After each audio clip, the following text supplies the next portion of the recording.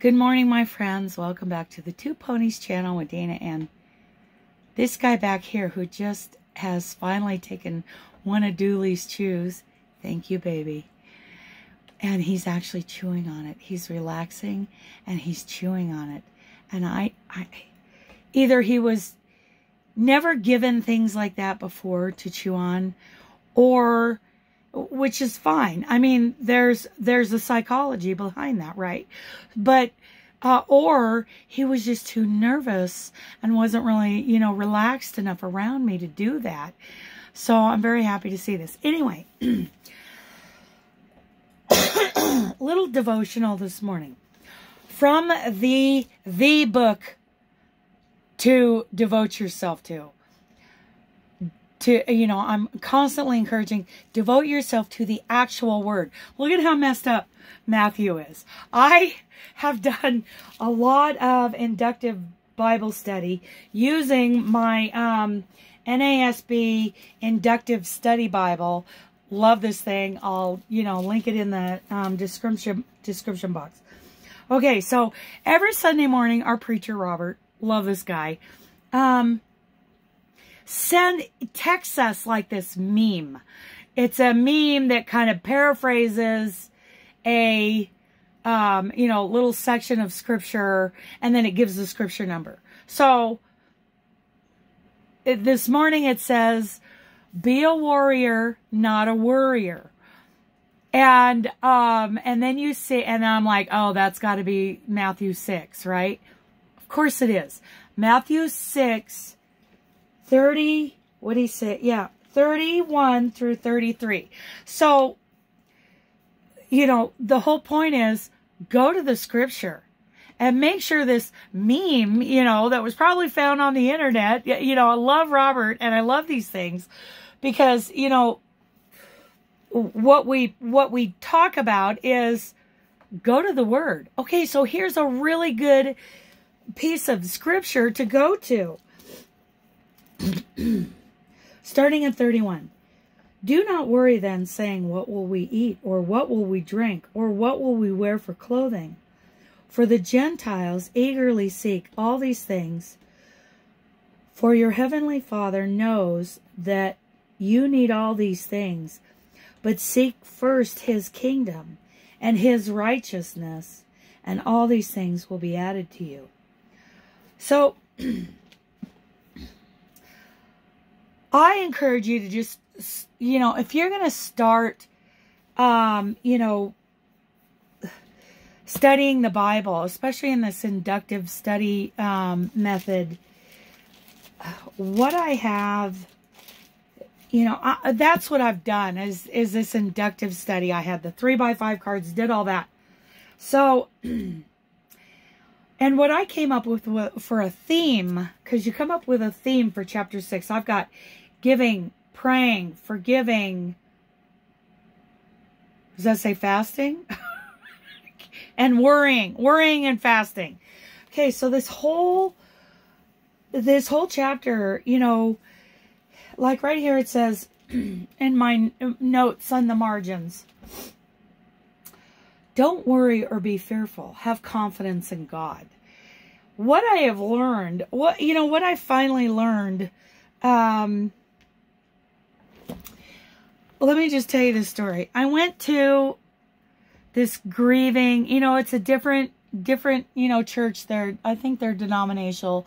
They're over there in Sweet, Idaho, and I, I, I just love Betty, the lady who invited me to this. And I went to their first one. And there's a lot of grieving going on there. Of course, you know, I'm a widow. I lost Wayne in Afghanistan um, in December of 2011. Okay, and it has impacted my life, not just emotionally, but in all ways, um, to lose my husband. Um, but I had already done a lot of this inductive Bible study. So, you know, I go there and people are talking about their grief. And I'm remembering, you know, everybody's going around telling their story. And I'm remembering when I was in adult group therapy, uh, we just called them classes because I, I had had a little bit of a breakdown. Um, my friend Jana told me, because she, she, has, you know, she had gone through that in her younger years. She says, when you show up and you're sick of the stories, you're okay. And um, uh, so there's not, you know, you're, you're starting, at first it was like, oh, the empathy. It's like, wow, yeah, I'm not the only one. And, and then, and I wouldn't say you get sick and oh, sick of it and roll your eyes or do anything like that, but there was a change. And I recognized it because she had told me what it was going to look like. And I stopped going to classes after that and went on with my life because I think at some point we just develop, you know, a kind of a chronic victim's mentality, you know, where I'm chronically damaged, right? Um, and, and there's brain chemistries and all kinds of things, you know, genetics or whatever that, that can cause that to happen anyway. But, it, but if you're not like, I guess, predisposed to these issues, um, you just, it, that it's a temporary thing, whether it's months or years, um, to go through these things, there's a point where you recognize it's like, I'm okay. And so I stopped doing that. So when I went to this thing, you know, these people, like, like poor Betty and her husband lost all of her kids, all of her kids in a tragic car accident. I want to say decades ago, at least a decade ago by the time I'd gone to this little group. And you know, I've got the grief of losing my husband. I have grief of losing six months later my father and my grandfather. And I was a daddy's girl. Um, it's going to be terrible when my mom's gone, but um, they are all different kinds of grief. So I can't compare. Probably can't compare losing Dooley to losing a child. But I think it's pretty close because I don't have children. I had Dooley. okay, moving on. and I felt like these people were misinterpreting like Matthew 6 and a lot of other, you know, scripture, you know, through the study, I'd come to realize if if a family member, you know, were grieving over the relationship of a family member or a person, like some of these people were, they were grieving over people that were still alive. And it was tragic to see what they were going through. But what I had learned by doing those, you know, inductive studies in, in the Bible is that, yeah, that hurts. That hurts. But in everything, everything, God wants us to trust Him enough and have confidence in Him enough to lean on Him. And that means trusting Him to get us through these things, right? I trust Him to get me through this. And He is getting me through this. It is getting better. I'm... There has been, like yesterday morning I just woke up and sobbed. And I haven't done that in a week or two, you know, over, the, but at least this time I had somebody to hang on to. That guy right there. Um, and that helps me through it. I mean, there's actual, you know, like chemical things that happen through your fingertips and it deals with your emotions when you actually pet a dog or a cat. It, it does something for you scientifically. I don't know, but it, you know, it helps. Hi. Hi, are you being good? He's like, I don't know. Am I going to get yelled at for this? I don't know. I, I don't think he was yelled at. I think he was corrected very, um, I don't know, diligently, and that's great. Okay, but anyway, you know, I saw these people were not there yet, and when I said, you know, God wants you to get to a point where you no longer have this like desperate hope in the back of your head that that relationship is going to be repaired. And I'm not saying it, it won't be because it could years down the road. But in the meantime, what he wants from you is trust and reliance on him.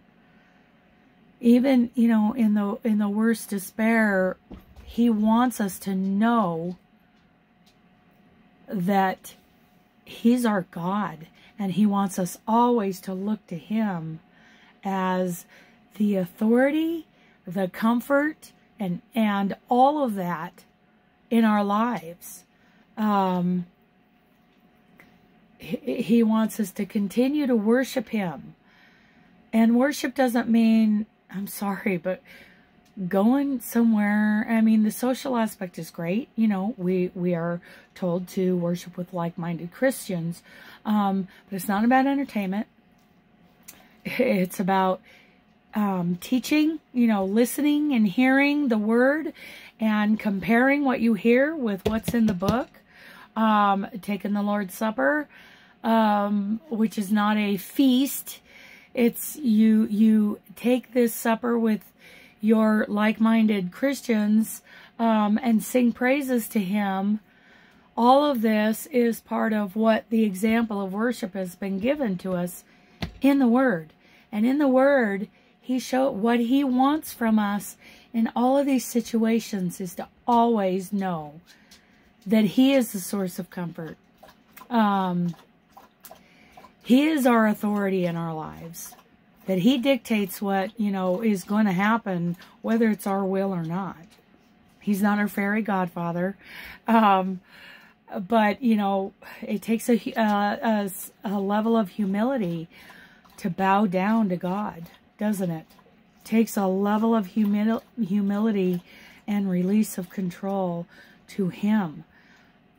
And, you know, that kind of humility and lowering ourselves to Him, that's not for other people in our lives. Yes, there are people who are considered, you know, that we should be treated with respect, but the ultimate respect and humility should be in the presence of God. And what He wants from us is to trust Him and know that He is who He is, and that comes from studying the Word. Okay, so I've gone on long enough. Blah, blah, blah talking a lot. Um, so, okay, so let's, you know, take a look at Matthew 6, especially 31 through 33. He wants us to rely on him. And not, you know, I always call it being the source of your own power. Our power doesn't come from within. And I know that's very unpopular right now. Oh, people are going to throw tomatoes at me. But doesn't come from us so much as it comes from him.